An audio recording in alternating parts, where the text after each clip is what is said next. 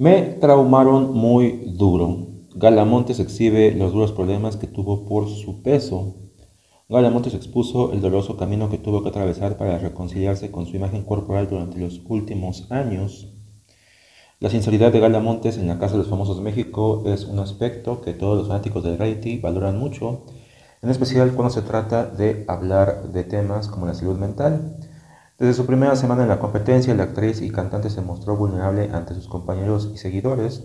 por lo que ahora la joven decidió tocar un tema bastante complicado para ella, sus problemas con el peso.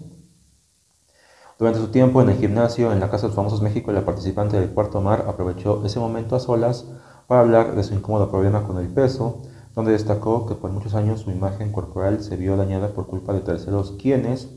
le recalcaban de manera negativa su aumento de tallas, lo que orilló a tomar conductas bastante dañinas para su salud. Dijo, me traumaron duro con el tema del peso, lo que terminó por llevarme a usar técnicas compensatorias para no sentirme tan mal. Señaló la famosa Gala Montes, explicó que las técnicas compensatorias se, eh, se trataban de empujar a su cuerpo al límite con ejercicio o ayunos después de tener un momento de atracón con la comida, lo que es uno de los primeros indicios del inicio de un trastorno de conducta alimenticia. ¿Qué hizo Galamontes para resolver sus problemas con el peso? Pues bueno, para Galamontes fueron muchos años de terapia y reconciliación con su cuerpo los que finalmente le ayudaron a tener una mejor relación con la comida.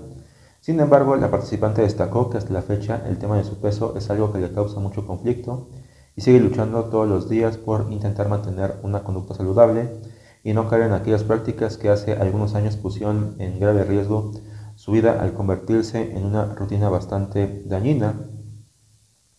la Casa de los Famosos México fue una gran oportunidad para que Gala Montes explicara o encontrara el espacio adecuado para sincerarse sobre todos los problemas de salud mental que atravesó en los últimos años. Sin embargo, no ha sido un camino fácil para ella al ser señalada por sus compañeros de utilizar esta carta de juego a su favor, por lo que a pesar de las incómodas discusiones, la participante sigue alzando la voz para generar conciencia de estos problemas entre el público del reality en Televisa, quienes aplauden su valentía al mostrar su verdadera cara ante las cámaras. Y pues bueno, en fin, recuerden que si quieren estar al pendiente de más información, no olviden dejarme su poderoso like, comentar, compartir y suscribirse. Yo soy Carlos Cohen, nos vemos la próxima.